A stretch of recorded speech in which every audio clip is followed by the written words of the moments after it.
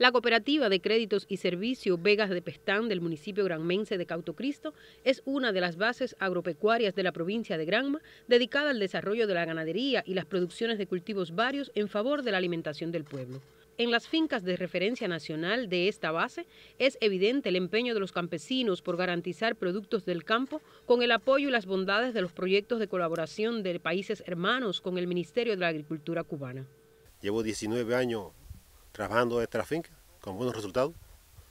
Eh, fui ahora beneficiado por un, por un bombeo de este proyecto de 2 pulgadas, donde todas las producciones mías salen para el Estado, principalmente salud y educación.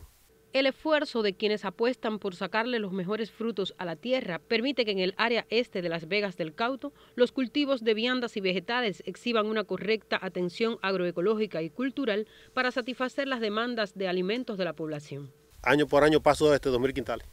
La tierra en estos momentos es lo que más, da. Tiene sus problemitas porque tenemos, estamos con un límite de, recursos que, como el combustible que está escaso y bueno, pero hay, que hacer por los palos y apoyar como hacer, pero hay que sembrar porque nosotros vivimos de esto. Las producciones extraídas de las vegas de Pestán se comercializan en los mercados estatales del citado territorio y aportan al programa agroalimentario de la provincia de Granma. Elena Lienz, Sistema Informativo de la Televisión Cubana.